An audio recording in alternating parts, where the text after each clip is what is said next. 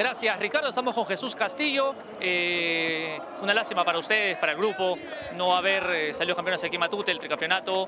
Eh, ¿Qué reflexiones de, de hoy? Nada, bueno. eh, disculpa a la hinchada, creo que todos queríamos lograr el campeonato, pero bueno, lamentablemente no se pudo, pero nada, eh, toca levantar cabeza nada más y, y prepararnos mejor para el año que viene. ¿Te sorprendió no ver tu nombre hoy? Eh, sí, bueno, son decisiones que toma el entrenador.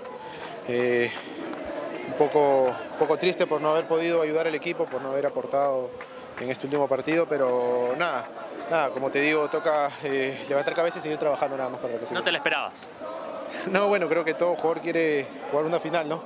Eh, pero nada, como te digo, queda trabajar nada más y, y como te digo nuevamente, pedirle disculpas a la hinchada. Creo que no se merecían esto, creo que ellos se merecían el campeonato por todo lo que nos apoyaron durante el año. Pero nada, a seguir trabajando y preparándonos para el año que viene. Aún tienes contrato. Sí, sí, como te digo, eh, es un momento difícil para nosotros, para mí también, uno como, como jugador que siempre quiere aportar y, poder lograr los objetivos, pero bueno, creo que esta vez no se pudo, pero nada, a seguir trabajando. Nada. Gracias, Jesús. Muy amable de tu parte por tu tiempo. Ha sido Jesús Castillo, mientras salen los árbitros a mi lado.